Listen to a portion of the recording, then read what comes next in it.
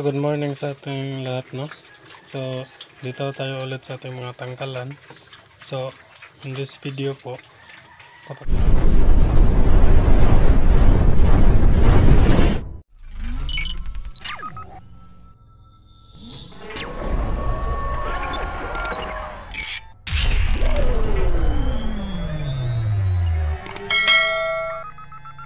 papakita ko po sa inyo yung resulta sa pag-vitamins natin na injectable no.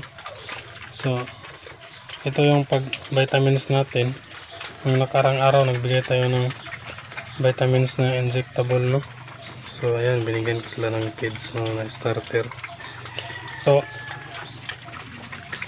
once na mag-vitamins tayo ah dito po sa ating mga ba- sa mga baboy ko ang ginagawa ko ang vitamins ako anong injectable. Uh, twice lang no sa injectable.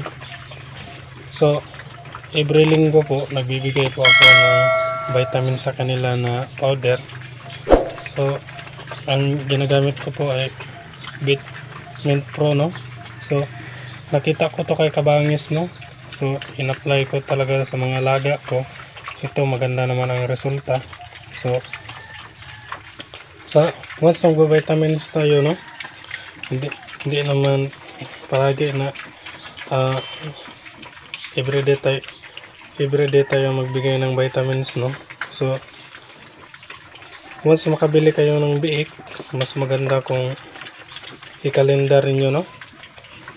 Mag-mark kayo sa calendar niyo no? Or i-check ninyo or bilugan niyo mga calendar niyo para ah, makita ninyo kung kailan kayo mag-vitamins, kailan kayo mag magpurga. So, every week po ako nagbibigay ng powder, no? Powder na vitamins sa kanila. Every, every Sunday ko i ibinigay sa kanila para hindi ko makalimutan, no? So,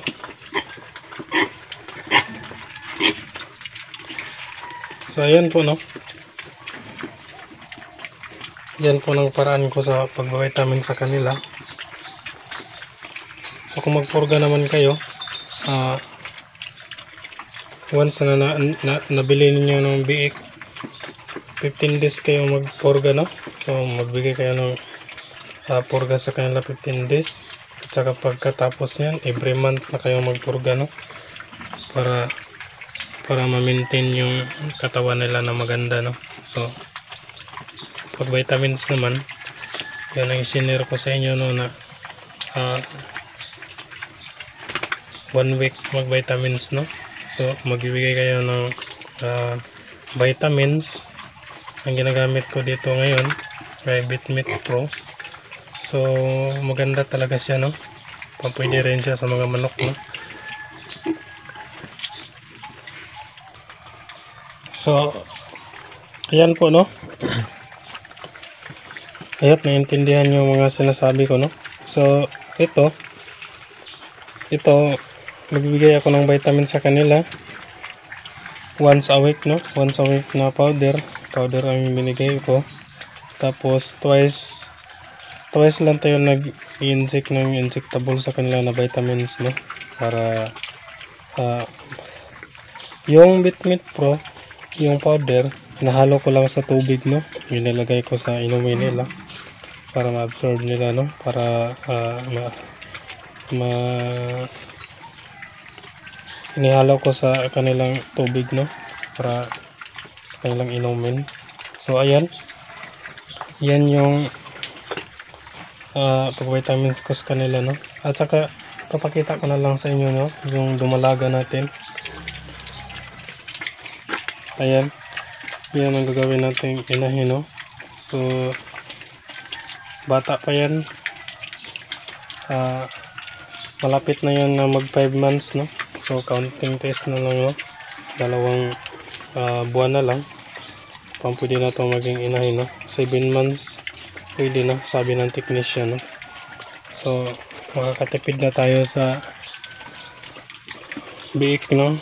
So yung pambiling biik bibili na lang natin ng feeds no? Para makain nila no? So ayan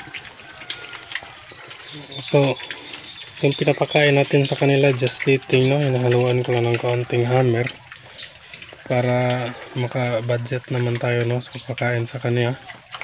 So once na mabuntis na pure feeds na ibibigay natin sa kanya no? Na just eating. So yan po no? Maraming salamat sa inyong lahat no?